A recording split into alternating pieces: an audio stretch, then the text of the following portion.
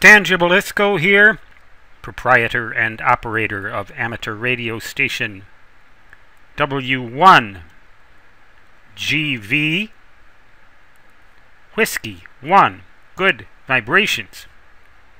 What I'm showing you here is a basic schematic layout of the antenna system that I would use if I went mountain topping on a band such as 20 meters, say, 14 megahertz band.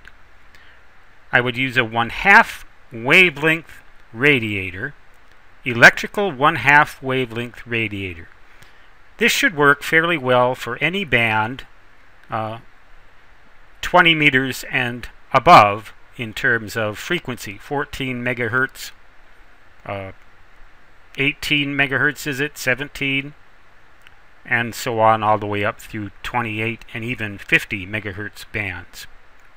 One half wavelength radiating element. That's important. One half, not five eighths, not three eighths, but one half wavelength.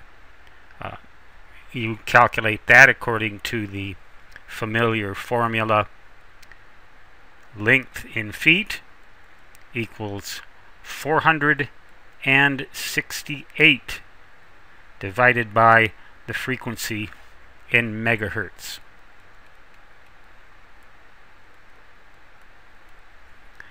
Then you have a resonant tank circuit, an inductance capacitance circuit tuned to resonance at the frequency that you want to work at, and a roller inductor preferably here so that you can vary the tap uh, at which the coax to the radio intercepts this coil.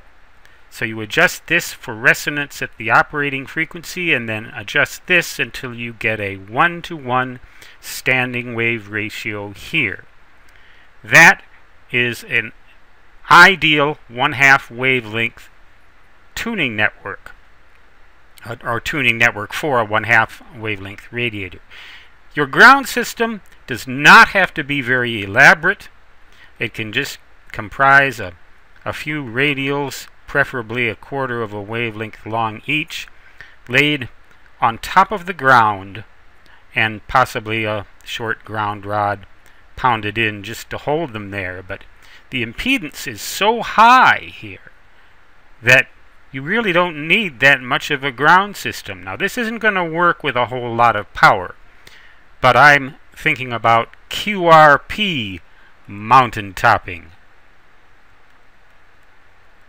Or at least quasi QRP, say 10 watts or less. Quasi QRP. Why don't we call that um, QQRP? Quasi QRP low power, 10 watts or less. This is the system that I would use, and the Earth doesn't even have to be that good of a conductor itself, but it, it would help if it were. This will give you quite a lot of DX if you have a clear shot in all directions from a high altitude and after all, you are going mountain topping, aren't you? You should be able to operate a battery-powered radio.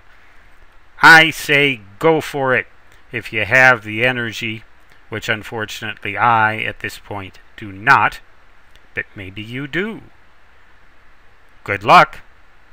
Stan Gibilisco, W1GV, saying 73, and so long, which, regardless of the antenna type, regardless of the location, band, power level, or anything else, always in my native fist translates into da da da da da da.